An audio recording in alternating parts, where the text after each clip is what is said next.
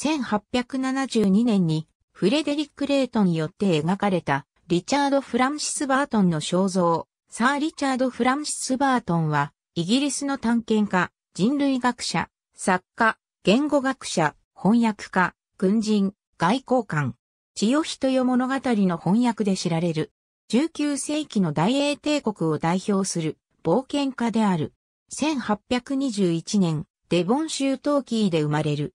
3歳から父が気管支喘息だったために和らげる乾燥地を求めてフランス、イタリアの各地を一家で移りながら育つ。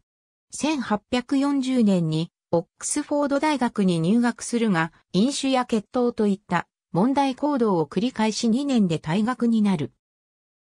父親の勧めで、インド駐屯軍の将校になり6月に出発、10月にボンベイに到着した。上官は半島戦争での経験を持つチャールズ・ジェームズ・ネーピアであった。インド滞在中は各地に赴任した。そして彼は現地で話されているヒンドゥスターニー語、グジャラート語、パンジャブ語、シンド語、サラキ語、マラーティ語のほか、ペルシャ語やアラビア語も堪能になった。また、バートンはヒンドゥーに見せられ、熱心に研究した。彼の研究は、ヒンドゥー教の師傅が正式にジャネを着ることを許可してくれたほどに進んでいた。また、植民地支配に対するインド人の不満を見て、イギリス当局に警告したが相手にされなかった。あまりにも熱心にインドの文化やヒンドゥーなどの宗教に関心を見せ、時に積極的にインド人と交流するバートンの行動は仲間の軍人たちからは奇妙なものとみなされた。イギリス人たちはバートンを土着化していると非難し、さらにホワイトニガーと半ば軽蔑してあだ名した。1850年に帰国。王立地理学会から援助を受け1853年に中東に旅立ちメッカ巡礼を行い巡礼者に変装することで異教徒と見破られずに成功する。生還した白人は数少なかったので有名になった。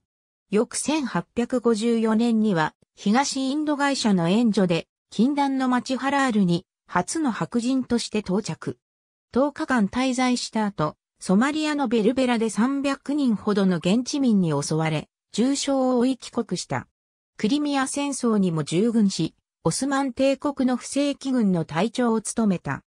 バートンとスピークのタンガニーカ湖までの道のり1857年、東アフリカのナイル川の源流を探す旅を、友人の探検家、ジョン・ハニング・スピークと共に行い、1858年にタンガニーカ湖を発見した。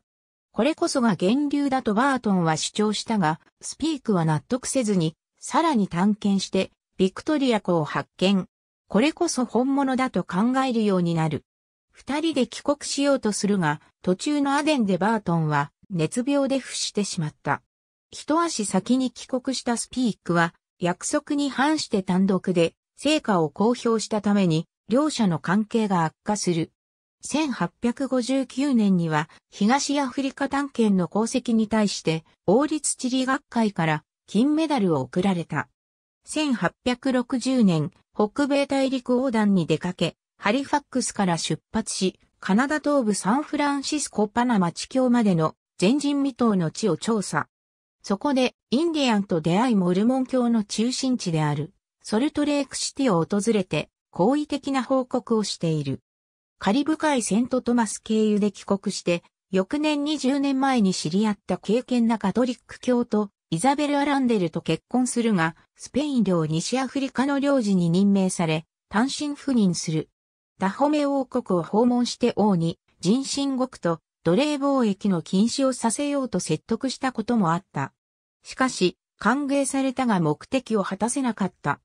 かねてから論争していたスピークと決着をつけるために1865年に開かれた英国学術協会の総会で討論しようとしたが、前日に銃の暴発によりスピークは死亡した。このことにショックを受けたものの翌年にブラジルの中産都市領事に任命され渡航。奥地や南米各国を探検する。1869年にはシリアの中ダマスカス領事に任命され再び渡航。ここでも辺境を探検するが、本人とは無関係の宗派紛争との絡みで職を解任され、帰国。この時の経験をもとに執筆した文章は、反ユダヤ主義だとして後世まで非難された。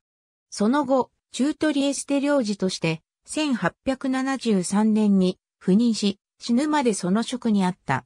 インドや西アフリカを再訪し1886年にナイトに上され、イゴサーの称号を用いる。晩年は、千代人よ物語の翻訳をして過ごした。